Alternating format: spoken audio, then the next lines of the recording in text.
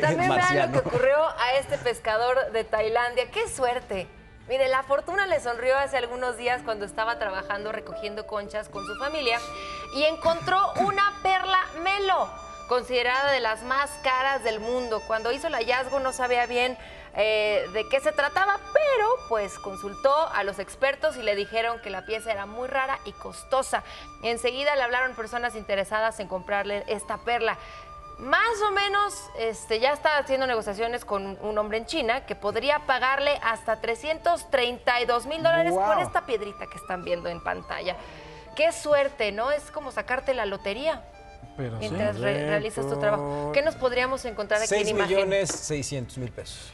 Casual. No, pues bien. ¿Qué Salido- nos podemos encontrar aquí en imagen? Sí, como- no, no podemos vender. Ay, pero Lasky, ¿cuánto nos darán por él? Depende, no sé. ¿en piezas o completo? O sea, a ver qué- Bueno, pues qué bueno. Enhorabuena por este señor. Ojalá y use ese dinero para hacer un bien y para comprar perlas. para comprar más perlas. Un collar de perlas para su mujer.